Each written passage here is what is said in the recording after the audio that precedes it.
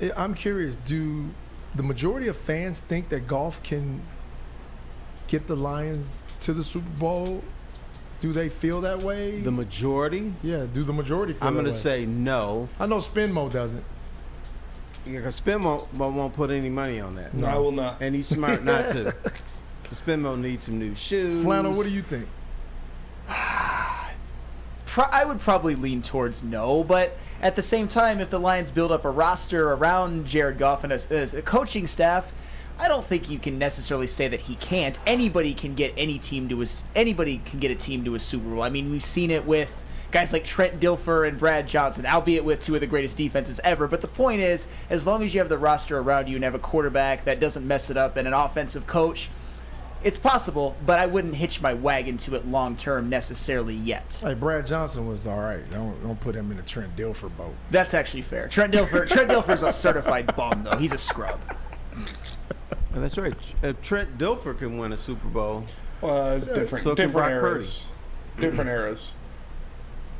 Trent Dilfer is throwing the ball what maybe twenty times a game.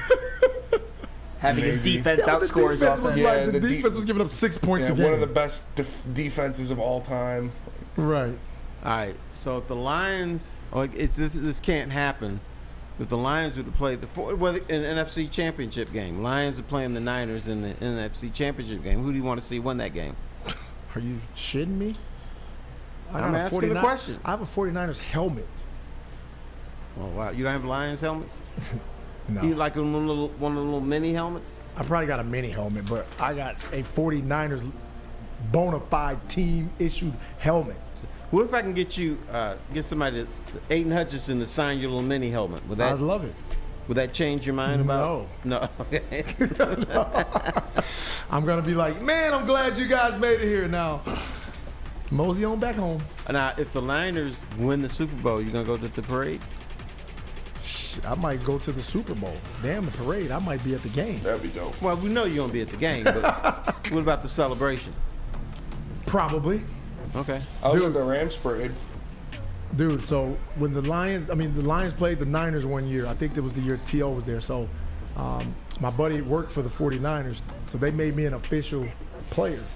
Like I had the, the, uh, everything. I was supposed to go down on the sideline and just be with the Niners and all that.